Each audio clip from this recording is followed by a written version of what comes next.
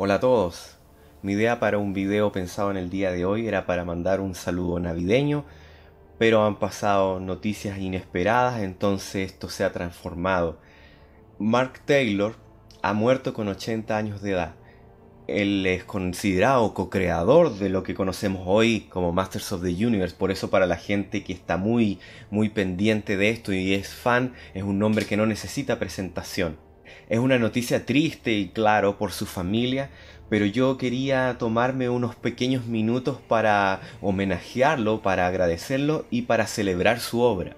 Somos muchos los que pasamos mucho tiempo disfrutando y hablando de esto, de las de creaciones que salieron de la mente de esta persona. Sus diseños conceptuales son parte de una franquicia muy significativa para muchos y sus diseños y su trabajo, más allá de todo, ha permeado la cultura pop eh, como muy pocos artistas logran hacerlo. Por eso mismo yo que me desempeño en el área creativa es que pienso que la meta de cualquier artista puede ser lograr crear algo que pueda trascenderlo a sí mismo. Y esta persona lo ha conseguido. Él en cierta forma eh, su obra va a vivir por siempre, entonces él ha conseguido cierta forma de inmortalidad. Él lo logró, lo logró.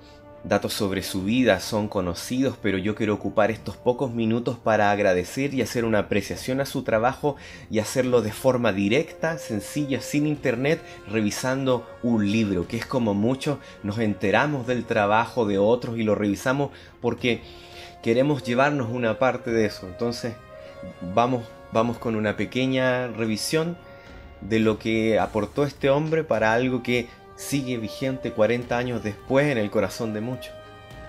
Partir por este diseño, que fue uno de los que inició todo, el primer He-Man. Esto después se suavizó a pedido de la productora para hacer algo un poquito más kid friendly. Me refiero a, la, a. Es bien, es, hermoso, es bien Conan, me encanta. Acá tenemos otro diseño, D-Man que terminó convirtiéndose en Skeletor. Un, hermoso diseño conceptual. Esto después se transformó en Demoman en Classics. Aquí una pequeña idea de Beastman. Beastman se cambió para que fue, pareciera menos Chewbacca, pero este es uno de los diseños originales. Y este hermoso diseño, el que es definitivamente He-Man. Este diseño es muy, es muy conocido y me encanta tenerlo aquí en papel estas, son las cosas que lo iniciaron todo. Y acá tenemos un diseño conceptual preliminar de Battle Cat utilizando la figura que ya se había pensado para, para producción y un príncipe Adam cuando iba a ser no iba a ser un alter ego sino que iba a ser un personaje distinto mucho más glamoroso espectacular los elementos básicos que vemos que salieron están ahí gacha, el escudo, la, la pechera de esta armadura. Tiene este, este cuchillo que después se fue, pero bueno, volvió. Y lo que yo más le agradezco, me acompaña todos los días y creo que es el mejor villano, si no está en el top 3, Skeletor. Aquí está su diseño para Skeletor que se llamó D-Man al principio, pero bueno, terminó siendo Skeletor. La historia de cómo fue concebido es conocida, un tema, un susto infantil que pasó este hombre. El concepto de un villano con cabeza de cráneo es universal ya, universal ya. Nadie, nadie, aunque no sea fan de nada, ve esto y sabe exactamente de lo que estábamos hablando. Sabemos quién es y ser un artista que haber logrado plasmar esto es un logro que muy difícil, muy difícil de concretar.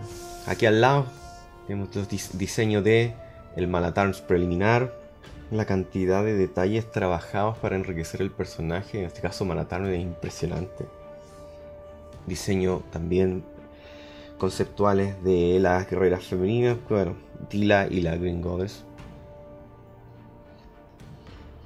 Acá en esta página está la propuesta para Beastman y el diseño preliminar de Merman. Todos los diseños aquí vienen con indicaciones y anotaciones. El diseño conceptual de Ramman son todos estos diseños están plagados de detalles. Es muy rico, muy, muy agradable trabajar con algo tan desarrollado y que se ve, se ve verídico, se ve verosímil, se ve funcional incluso. Y aquí la propuesta para minifaces, incluso con, el concepto de la acción de cambiar de rostro. Están dibujadas las tres etapas.